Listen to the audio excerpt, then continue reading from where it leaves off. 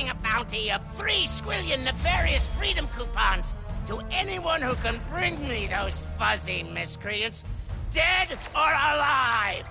But preferably alive, so I can have some fun with them first. My elaborate spy network